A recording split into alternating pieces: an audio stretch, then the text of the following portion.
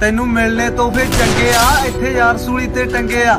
ਅਸੀਂ ਆਪਣੀ ਜ਼ਬਾਨ ਪਕਾਵਾਂਗੇ ਨਾ ਵਾਦੇ ਟਾਲ ਹੋਣਗੇ।